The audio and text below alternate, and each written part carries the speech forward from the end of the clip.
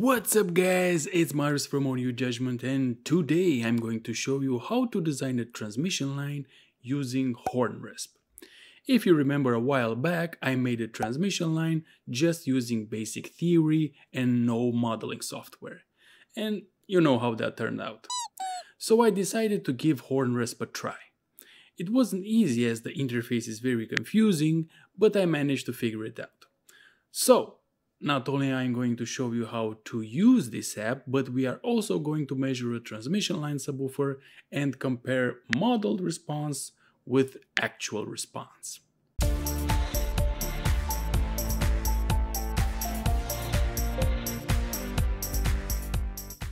Before we begin, I invite you to watch the previous transmission line video as I teach you the basics of T-line and also we are using that subwoofer as a device under test in this video.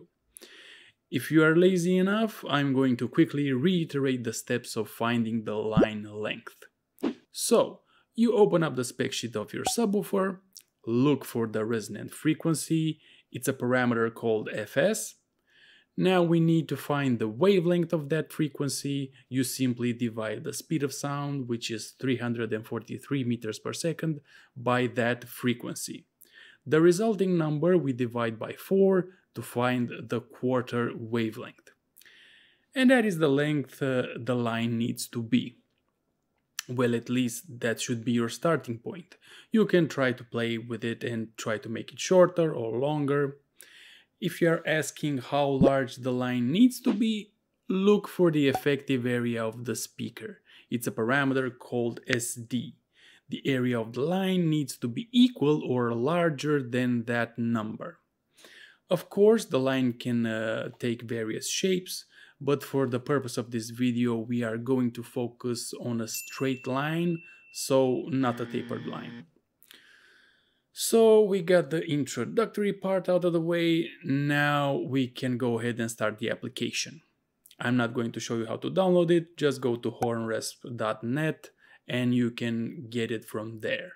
Now before we start to do anything, make sure you have uh, the spec sheet of the driver ready. In this case we have the Ultimax 8 inch from Dayton Audio, so now let's open up a HornResp.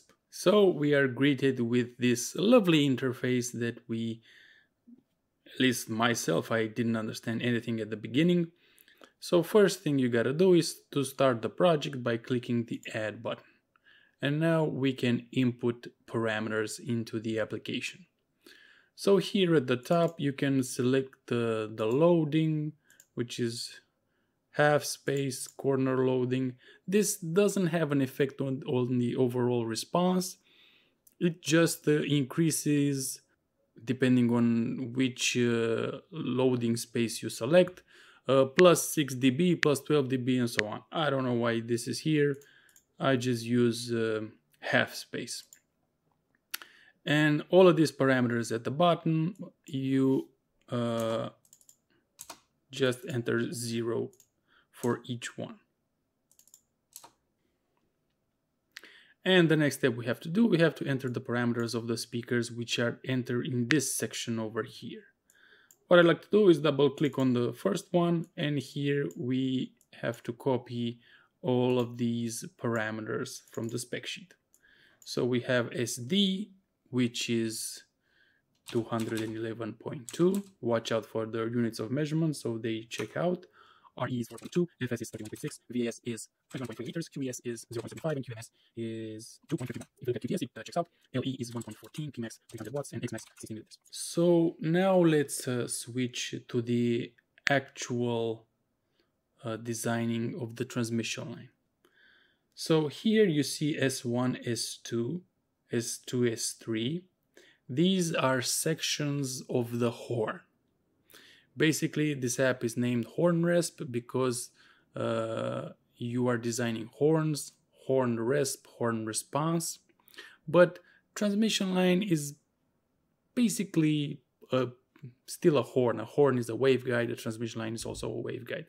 So a horn has a throat area and a mouth area and a distance between those two areas which follow a search a certain function.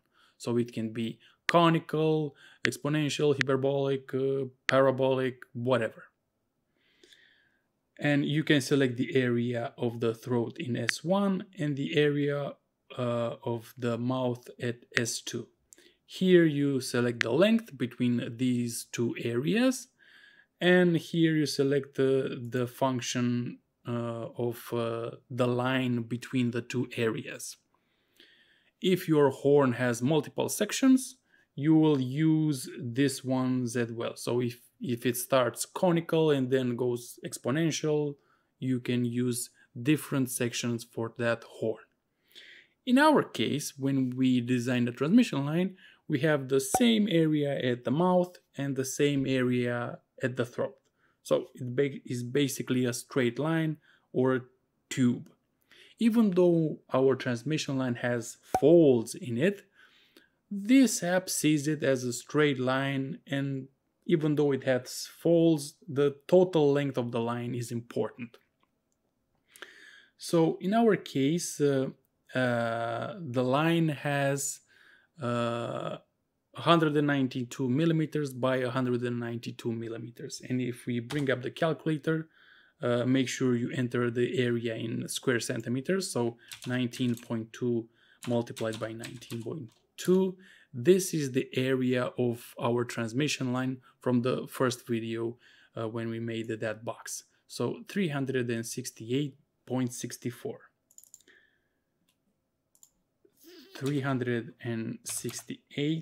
368.64 and S2 is the same 368.64 and the length uh, we calculated to be 2.71 meters. So that is 271 centimeters. Now we don't have a, a second section for this transmission line. You could enter one. For example if you want to place different absorbent material along the line you can uh, split this transmission line into two sections even though it's still a straight line. So you can put different materials in different sections because this app allows uh, that thing. But for now we are going to eliminate uh, the second section. So we are going to put zero here and zero here and zero here. So now we have only one section in this transmission line now, remember, you can choose uh, the growth rate, so to say, to exponential, conical, parabolic. But since we have the same area at the beginning, at the end, it's just a straight line. It doesn't matter what you select here. Most logical will be would be to select conical. So now if we if we click uh, calculate, uh, this is uh, an image of how the transmission line uh, would look like. And if we go to acoustical power, well, do you remember this response? Let me bring up Room EQ Wizard. So if we compare uh, the model response with the measured response from Room EQ Wizard, we can see that the responses match almost perfectly we have uh, that uh, big peak uh, at uh, before roll off we have that even bigger peak around 100 hertz. A huge cancellation between 100 hertz and 200 hertz. And uh, basically the model response coincides with the actual measured response. So now we are going to fix this. To fix this issue we are going to offset the driver. So we're not going to place it uh, at the beginning of the line. We're going to place it somewhere along the line between the beginning and the end.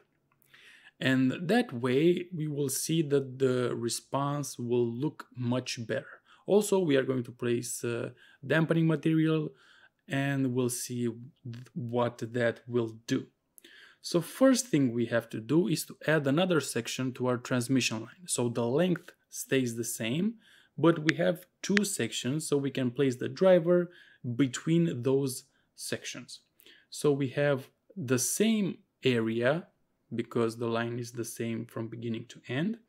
So um, if you're having issues inputting these parameters, you can double click and it will ask you uh, what type of uh, uh, flare it has. It has a conical flare and we entered S2, which is uh, exactly the same as S2 from the beginning. So it's already entered and S3 is the same.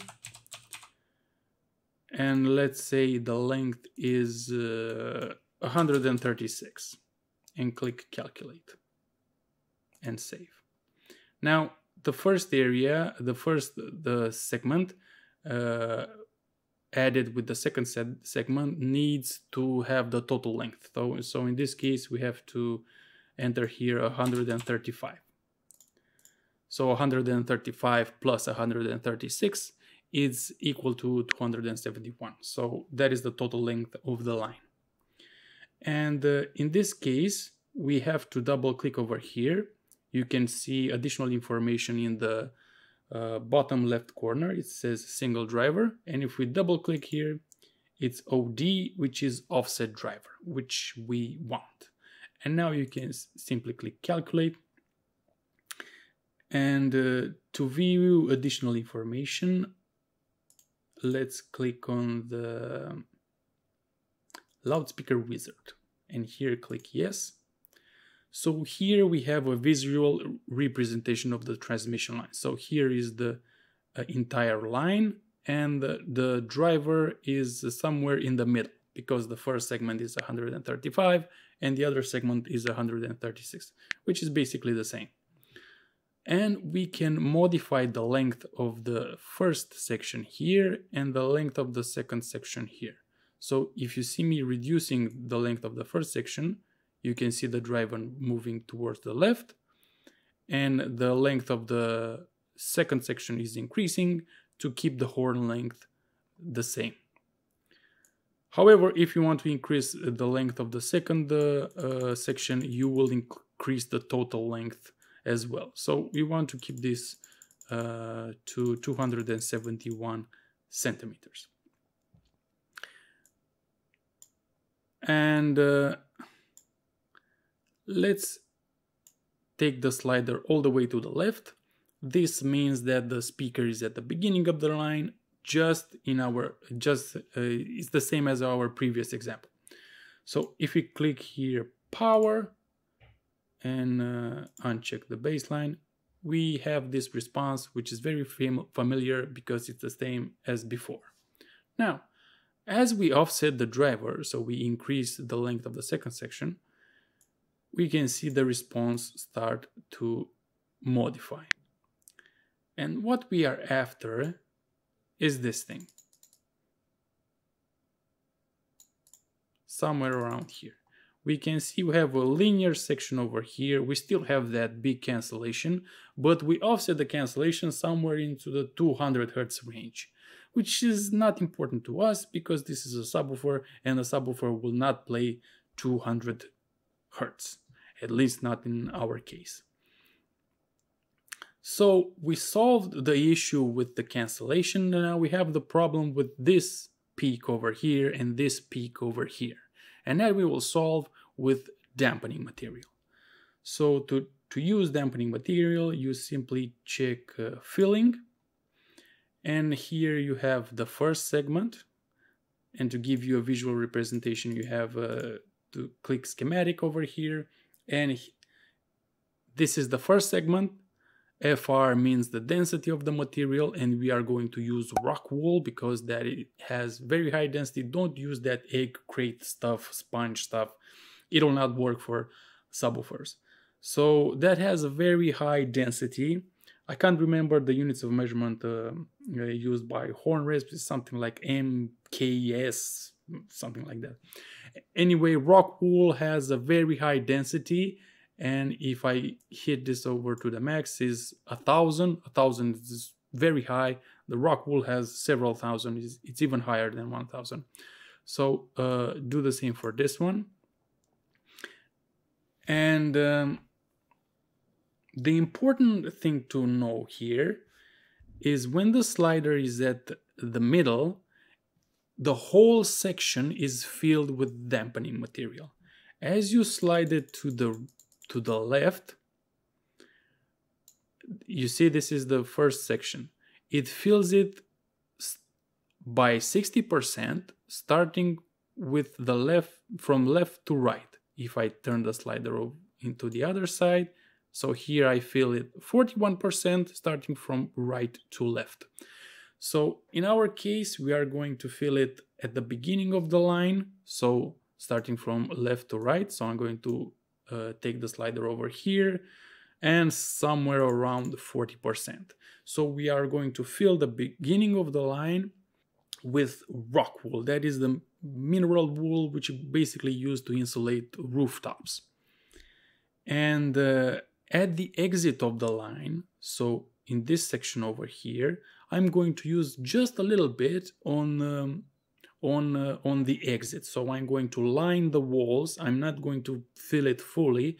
So I'm just going to um, so here is the exit of the line just like no i don't know 2 3% something like that because this when you enter like 10% uh, the app um, you are telling the app that you are filling that whole area with dampening material the first 10% of that uh, section but in our case we are just going to line the walls so if we go to power you can see the response is much flatter so we fixed the peak over here and the peak over here. If you want to add more dampening material, you can see what this does. It straightens everything out. But the problem is, as you put more and more dampening material into a transmission line, you are basically transforming the transmission line into a closed box, basically, because the air uh, doesn't escape, um, the, the sound doesn't escape through the port because it's obstructed fully with dampening material. So while this response looks better, more linear, it's actually closer to um, the response to a closed box and we want to build a transmission line. So in that case, let's uh, leave it how it was. This one to 40%. So let me take this to zero. So as you can see, the fact that we uh, just 3% of the exit of the line has uh, a massive effect on those peaks. So dampening material is very critical when designing a transmission line.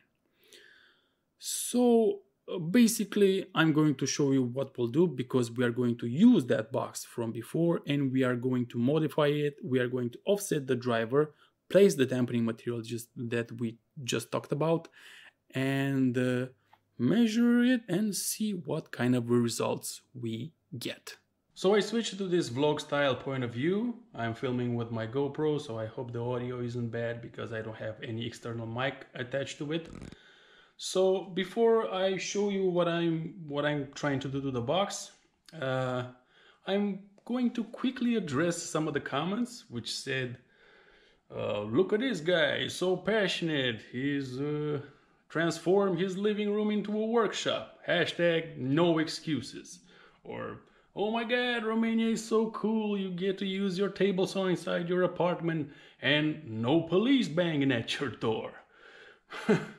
well, to clear things out, um, my workshop is uh, at it's a room which is basically an unused office space and I turn it into, into a workshop so the fact that you see two old armchairs at the back of the room does not make it a living room.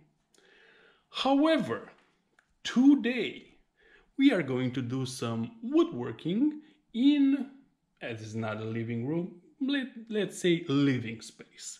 This is the attic of my parents' house and I do some measurements over here because we have a large room and here is a large open area with no boundaries and it's perfect for um, making acoustical measurements. So uh, let's look uh, at the box and I'll show you what I'm trying to do.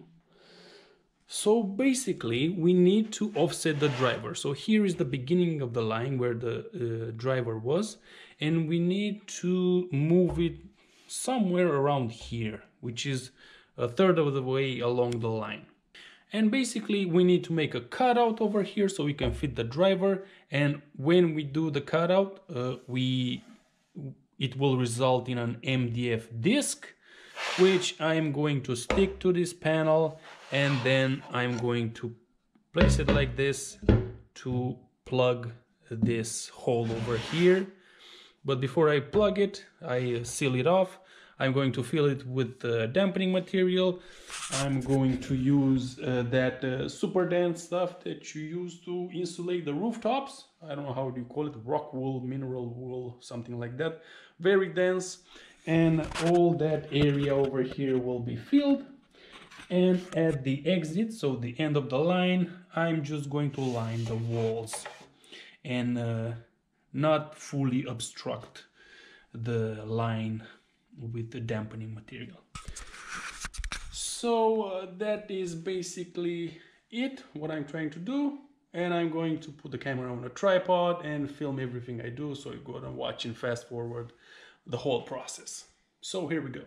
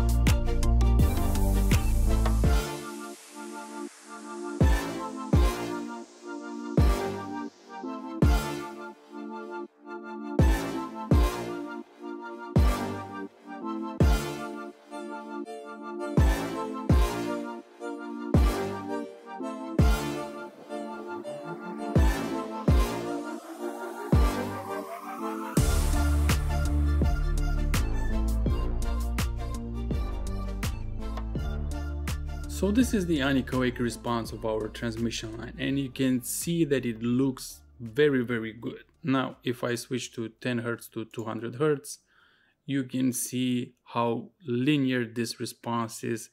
It actually looks quite amazing. I didn't expect it to go that well. And if we switch back to the whole response and try to compare it with the model response from HornResp, we can see that it looks pretty similar. We have that dip over there at 200 Hertz, same over here, and a slight peak over here. It, it is it is quite remarkable that you can model these uh, transmission lines. I was very intimidated at first. I always knew that transmission lines are very unpredictable, and indeed they are if you don't have the know how how to use the modeling software. But in this case you, now you can go ahead and model your own transmission line using horn HornResp and actually have good results. This subwoofer sounds quite nice uh, besides the fact that the box is huge and um, bear in mind that the area I chosen is a bit bigger than the SD of the driver so uh, the area could have been smaller and I actually tested this in HornResp and uh, the fact that you reduce the area and uh, it's closer to that of the effective area of the speaker it's actually quite beneficial. The response uh, would look a bit better. So uh, the box can be smaller and also the response uh, the actual response will be similar will not be like whoa look at this because this one the response looks great. So uh, that's about it for this video. I hope you learned something new and uh, now you know how to design the transmission line using HornResp don't forget to subscribe to the channel if you want to see more videos like this and i'll see you next time. Peace